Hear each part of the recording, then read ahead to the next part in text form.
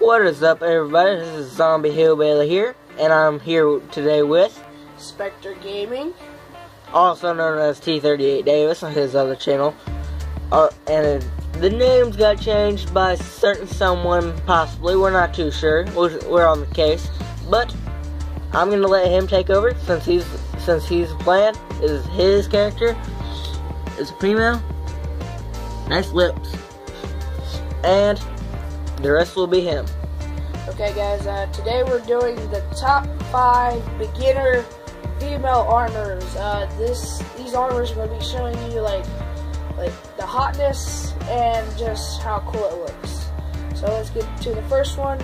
First one is the one that you get out of the cage when he says there's something in there.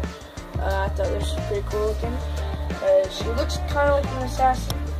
Not much as the Dark Brotherhood, but still pretty good enough. Okay, guys, coming up number four, we got the Stormcloak armor. Um, it's really easy to get only if you go with um, Ralof and to the doors to get the armor. Um, I thought, me and Zombie Hillbilly thought this was a pretty cool looking armor, and it should be counted in to our top five. Okay, guys, our our third armor is the armor that you also get with Ralof when you kill, I think, a general of a girl. Um, we thought this was pretty good. It has pretty good armor rating for the beginner, and the sword goes with it pretty good. So this is our third one. Okay, guys, for our second one is the fur armor from the bandits.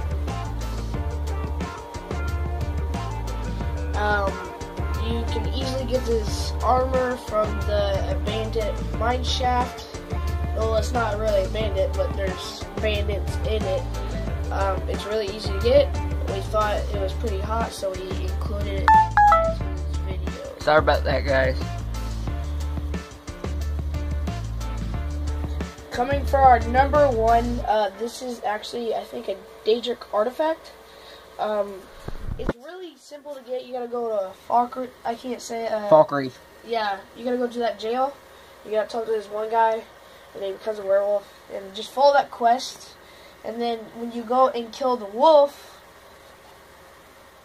you uh, when you go and kill the wolf,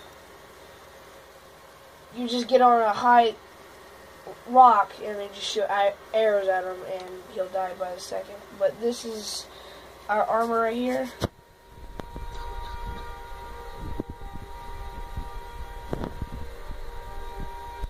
Uh, we like how it looks. We gave it the bow and arrow, and uh, we thought maybe this should this should be the number one because it's the hottest. And now we're gonna go into the boob motion.